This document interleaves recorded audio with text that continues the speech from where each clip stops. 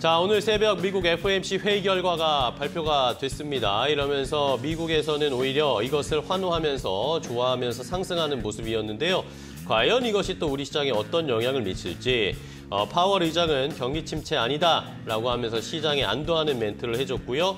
9월에 금리 인상을 할 것이다라는 이야기는 했지만 속도를 좀 조절해야 된다라는 식의 언급이 있었습니다. 과연 FOMC 회의 결과 그리고 GDP 발표도 있고 기업들의 실적 발표도 연이어 이어지는데 우리 시장에 어떤 영향을 줄지 한번 확인해 보도록 하겠습니다. 자, 오늘 새벽에 가장 중요했고 이번 주에 어째 어떻게 보면 가장 중요한 이벤트고 이슈였습니다. FOMC 회의 결과가 나왔는데요. 자, 어떻게 보셨습니까, 팀장님 일단? 어, 일단은 이제 미국 시장은 환호를 했죠. 네. 다만 이제 우리나라 시장은 그만큼의 속도는 아닌 것 같습니다. 네. 상승 속도 좀 아니고 밀리고 있는 상황인데 어, 일단은 해석은 상당히 긍정적으로 했다 볼 수 있을 것 같습니다. 일단 말씀하셨던 것처럼 금리 인상에 대한 속도를 조절하겠다라는 얘기가 나오고 있고 또 네. 이제 유력한 시나리오를 어쨌든 8월은 FOMC가 없으니까 음. 이제 9월까지는 좀 어느 정도를 가다가 이제 11월에 중간 선거이지 않습니까? 네. 그때부터는 25bp를 확실히 좀 내려가는 그래서 어, 연으로 봤을 때 뭐 3.25% 정도까지 어떤 금리를 맞추겠다는 시나리오가 좀 존재하고 있는 부분이 있기 때문에 일단 이러한 측면에서 지금 7월까지는 우리가 흔히 말하는 자이언트 스텝을 가겠지만 하반기에는 금리의 속도 인상 조절이 좀 가능하지 네. 않을까라는 좀 얘기가 나오고 있고 또 이제 말씀하셨던 것처럼 이제 GDP 관련돼서 이제 경기 침체, recession 관련돼서 좀 질문이 상당히 많이 나왔었는데 네. 일단 이와 관련돼서는 내일 발표가 나죠. 그쵸. 근데 이제 그 경기 침체 관련돼서는 사실은 이제 좀 어떻게 보면 정의가 좀 상당히 좀 어렵다라고 볼 수 있을 것 네네. 같은데 최근에 뉴스를 보게 되면 뭐 여기저기서 경기 침체 얘기 다 나오지 않습니까?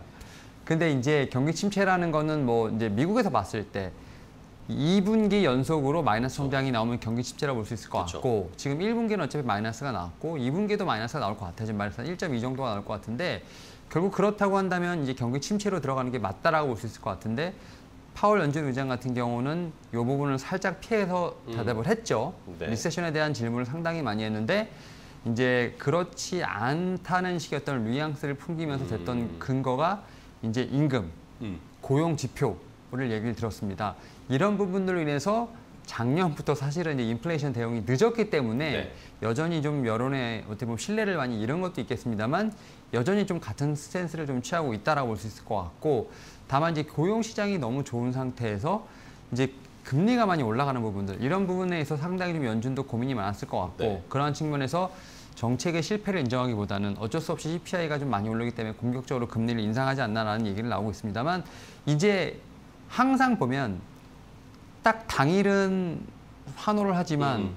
그 다음 날 그쵸. 보면 이 해석이 맞는 건가에 대한 네. 또 이제 여러 가지 또 예, 많아집니다. 얘기가 많아집니다. 그러면서 아 명확히 가이던스를 안 줬는데 어떻게 할까? 음.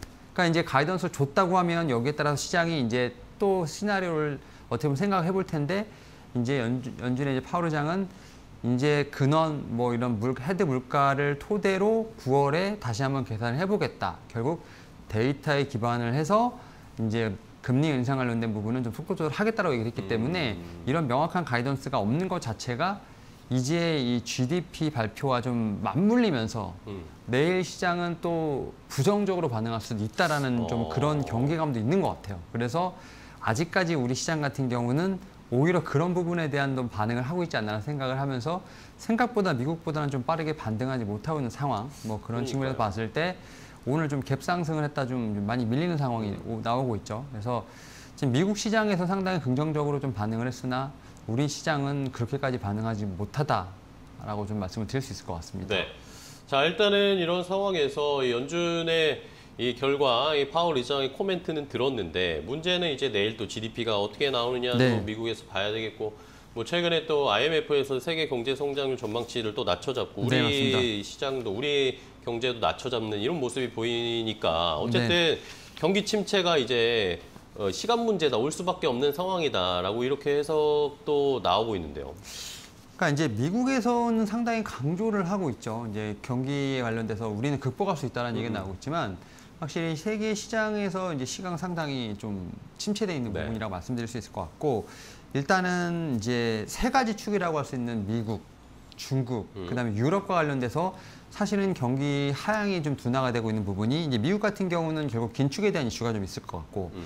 중국 같은 경우는 이제 코로나19 이제 방역과 관련된 부분들. 그 다음에 유럽 같은 경우는 긴축뿐만 아니라 이제 러시아 우크라이나 관련돼서 좀 타격을 받은 부분이 있기 때문에 이런 부분들로 인해서 지금 전체적으로 어떻게 보면 경제 전망치가 좀 떨어지는 모습을 네네. 좀 보여준다 말씀드릴 수 있을 것 같고 지금 앵커님께서 말씀하셨던 것처럼 우리나라도 전망치가 세 번인가 하향됐지 네, 않습니까? 됐습니다. 물론 이제 우리나라 2분기 GDP는 시장 컨센서스 대비에는 좀 선방했습니다. 음. 0.4였는데 0.7까지 나왔으니까 근데 이제 이러다 보니까 이제 우리나라에서 어떤 얘기가 나오고 있느냐 지금 미국과 한국 금리가 역전됐지 않습니까? 네. 근데 이제 우리나라 GDP 성장률이 그래도 2분기에 선방을 했기 때문에 음. 조금은 금리를 더 올릴 수 있는 여력이 있지 않을까. 그러니까요. 그래서 물론 이제 우리나라도 급속도로 금리를 올리지 않겠다라는 얘기는 분명히 했습니다만 상황이 어떻게 될지 모르는 거예요. 음. 그러니까. 그래서 하반기에 우리도 빅스텝을 갈 수 있는 또 다른 어떤 여지를 남겼다라는 점에서 봤을 때 음. 이제 글로벌적으로 이제 경기가 하향되는 주된 이유가 결국 긴축이지 않습니까? 네네. 그런 부분에 우리나라도 좀 어떻게 보면 포함될 수 있지 않을까 생각을 한다면 네. 여전히 경기 전망에 대한 부분은 암울하다. 근데 이런 부분이 하반기에 분명히 실적으로 나올 수밖에 없는 상황이 되지 않을까 네. 생각을 하면서 음. 우리나라 지금 이제 1년치 지금 시장 컨센서스 같은 경우는 작년보다 조금씩 떨어지고 있는 작년 그 어닝보다 올해 어닝이 조금 한 5% 정도 떨어지는 음. 그런 쪽으로 전망이 되는 부분이 있기 때문에 미국과 달리 이제 우리나라 같은 경우는 좀 이런 부분에서 분명히 영향을 받을 수 있다라고 좀 생각을 하고 있습니다. 알겠습니다.